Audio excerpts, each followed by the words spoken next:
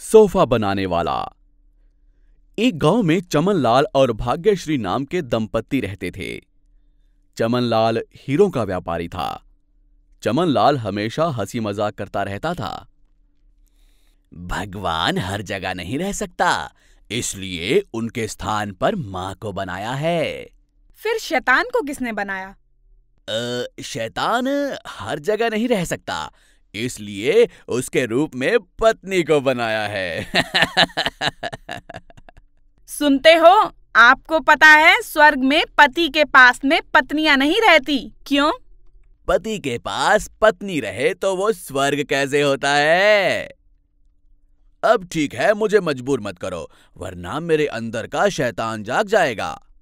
बिल्ली को बाहर निकालने से क्या होगा? ठीक है अपना सोफा बहुत ही खराब हो गया है। मैं सोफा बनाने वाले को फ़ोन करता हूँ। हेलो? हेलो? सोफा बनाने वाले बात कर रहे हो क्या? हाँ कुछ नहीं हमारा सोफा खराब हो गया है। आप एक बार आकर हमारा सोफा बना देंगे। ठीक है भाई साहब अभी आता हूँ। अरे सोफा बनाने वाले आ गए क्या आप? आपका नाम क्या है? मेरा नाम सोफी है साहब। अरे, आपका नाम सोफी है तो सोफा रखना था ना?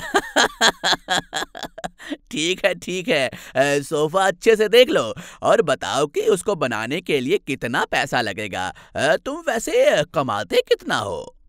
पचास हज़ार, साहब। कितने महीने में? वो काम को देख कर रहता है, साहब। ठीक है, साहब, मैं इस सोफे को मेरी दुकान पर लेकर जाता हूँ। और बनाकर वापस लेकर आऊँगा साहब। ठीक है ठीक है संभाल कर लेकर जाना और ठीक करने के बाद मुझे फ़ोन करना ठीक है? एक काम करना सोफे को भी वापस व्हाट्सएप पर ही भेज देना। तुम्हारे पास व्हाट्सएप भी है। अच्छे से बनाकर घर वापस लेकर आओ नहीं तो तुमको एक रुपया भी नहीं दूँगा। ठीक है साहब जा रहा हूँ। एक दिन घर में एक हीरा नहीं दिख रहा था। उसके लिए चमनलाल सारे घर में तलाशी करता है। फिर भी उसे हीरा कहीं नहीं मिलता। वो अपनी पत्नी से पूछता है। वो भी कहती है, मुझे नहीं पता। ये जवाब सुनते ही वो सोचने लगता है। अगले दिन सोफा बनाने वाला सोफे को बिल्कुल नई तरह का बनाकर घर लाता है। ये देखकर चमनलाल कहता है अरे वाह, मैं तो तुम्हारे बारे में कुछ और ही सोच रहा था, लेकिन तुम तो बहुत अच्छा सोफा बनाकर लाए हो। कितने रुपए हुए इसके? दो हज़ार, साहब। क्या? छोटे से काम के लिए दो हज़ार रुपए मांग रहे हो? तुमको बहुत लालच आ गया है। दो सौ रुपए दूँगा, चुपचाप ले लो। साहब, मैं किसी के पास भी बेकार के पैसे नहीं लेता हूँ। मैं जितनी मेहनत करता हूँ, उसी के हिसाब से ही पैसे माँगता हूँ। क्या बात है? बहुत बातें सुना रहे हो। ये दो सौ रुपए लेकर जिस रास्ते से आए हो, उसी रास्ते से वापस चले जाओ। नहीं तो पुलिस को बुला लूँगा अभी। इतनी सी बात के लिए पुलिस की क्या ज़रूरत है, साहब? आप जैसे लोग बोलते हो, हमारे जैसे लोग सिर्फ़ सुनते हैं। चलने दो, साहब। मैं गरीब मेहनत करने वाला हूँ। मैं क्या कर सकता हूँ? आप बड़े लोग हो जो चाहे वही कर सकते हो। ये दो सौ रुपए भी आप ही रख लो मैं चला जाता हूँ। अच्छा अच्छा ऐसा क्या? जाना चाहते हो तो चले जाओ। दूसरों को भी मैं इतना ही देता हूँ। तुम्हें ज़रूरत हो तो ले लो नहीं तो चले जाओ यहाँ से। ठीक है साहब मैं तो जा रहा हूँ लेकिन आपके सोफे में मुझे ये हीरा मिला था ये आप अपना रख लीजिए। मेरे सोफे में ये हीरा मिला। इस हीरे के लिए तो मैं पूरे घर में तलाशी कर रहा था, फिर भी मुझे मिल नहीं रहा था। इसे तुमने संभाल कर रखा और लाकर मुझे दे दिया। बहुत बहुत धन्यवाद भाई। तुम्हारी अच्छाई को मैं समझ नहीं सका और तुम्हें बुरा भला कहा। उसके लिए मुझे माफ़ कर दो। तुमने दो हज़ार रुपए मांगे थे ना? ये लो ये लो दो हज़ार रुपए रख लो। आज के बाद मैं मेहनत करने वाले और अच्छे लोगों को भी कुछ नहीं कहूँगा। मुझमें बुद्धि आ गई है। आपको हमारी ये कहानी कैसी लगी, हमें कमेंट बॉक्स में ज़रूर बताएँ।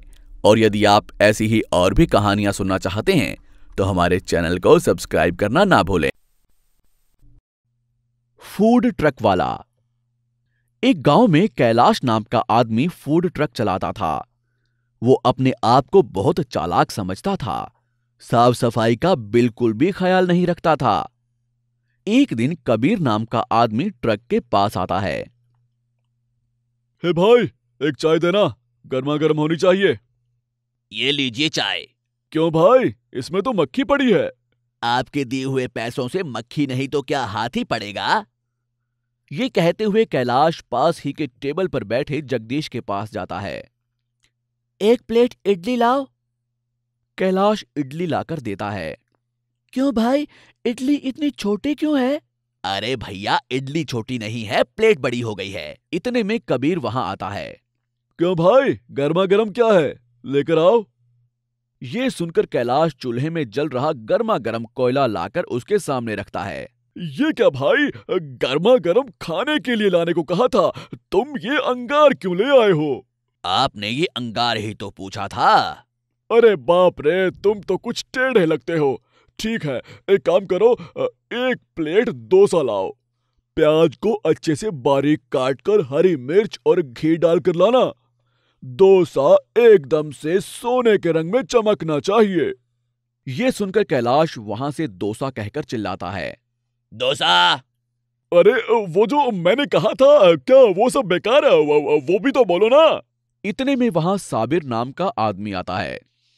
अरे भाई कैलाश जो कल मैंने यहाँ से उपमा खाया था बहुत मज़ेदार था। एक काम करो एक उपमा और लेकर आओ। जी ठीक है लाता हूँ। कैलाश उपमा लाकर देता है। ये क्या? ये तो कल का लगता है। हाँ आपने ही तो पूछा था इसलिए मैं कल का उपमा ले आया। इतने में फ़ूड इंस्पेक्टर वहाँ आता है।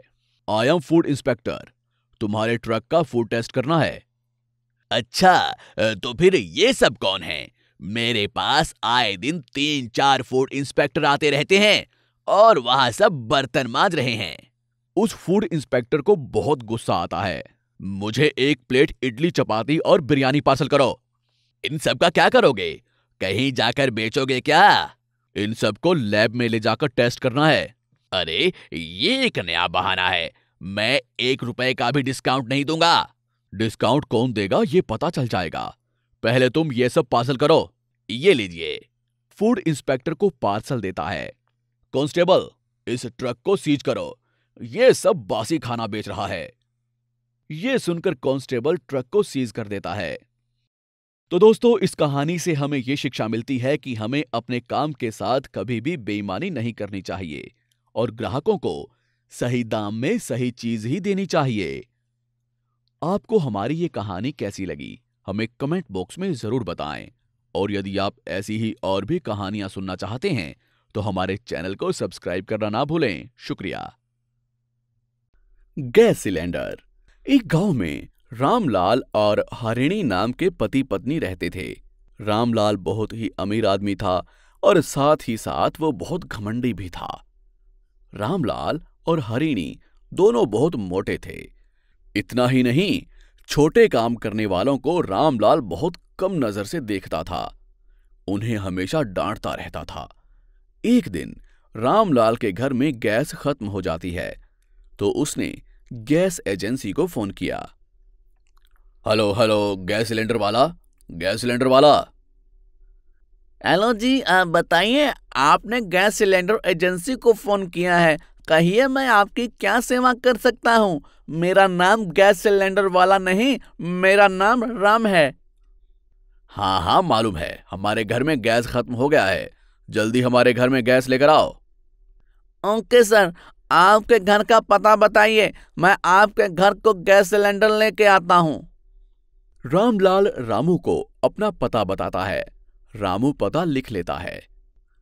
हेलो, गैस सिलेंडर वाला। तुम हमारे घर गैस सिलेंडर ज़रूर लेकर आना। मैंने तुम्हारा कॉल रिकॉर्ड किया है। ओके, सर, मैं गैस ज़रूर लेकर आऊँगा अब। आप फ़ोन रख दीजिए। रामू मन ही मन सोचता है, ये पागल है या स्क्रू लूज मुझे क्यों बता रहा है कि मैंने तुम्हारा कॉल रिकॉर्ड किया है? Hello, sir, Ramlal ji, gas cylinder लेके आया हूँ, नीचे फ्लोर में हूँ। लिफ्ट काम नहीं कर रहा है। आपका फोर्थ फ्लोर है है ना सर? लिफ्ट काम नहीं कर रहा है तो मैं क्या करूँ? किसी ना किसी तरह ऊपर लाओ। तुम ही ने तो कहा था कि एड्रेस बताओ सिलेंडर लाऊँगा। इसलिए मैंने तुम्हारा कॉल रिकॉर्ड किया। अरे बाप रे मर गया। आ, हाँ, इसने तो मुझे फंसा दिया। जाना तो पड़ेगा।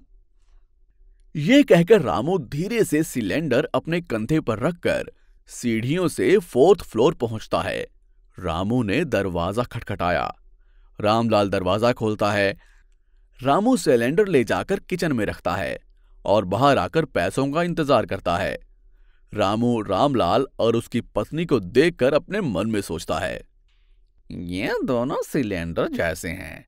ऐसे लग रहा है दो सिलेंडरों की शादी हुई है। अरे ओ गैस वाले, तुम्हारा नाम क्या है? हमारे सिलेंडर की लागत थोड़ी ज़्यादा है तो हमें महीने में दो तीन सिलेंडर चाहिए होते हैं। तुम क्या ब्लैक मार्केट से दो और सिलेंडर दिलवा सकते हो क्या? सर, मुझे एक संदेह है क्या आप होटल चलाते हो? आप दोनों को इतने सिलेंडर क्यों चाहिए? तुमसे मतलब गैस सिलेंडर वाले हो, सिलेंडर दो और जाओ, हमें सिलेंडर की ज़रूरत है ला के दे सकते हो क्या? गुस्सा मत कीजिए, सर, मैंने तो बस ऐसे ही पूछ लिया। रामू मन में सोचता है, देखने में दोनों सिलेंडर जैसे हैं, इतना भर भर के खाएँगे तो तीन सिलेंडर क्या, जितने भी हों, कम पड़ेंगे? जल्दी जाओ और अपना काम करो।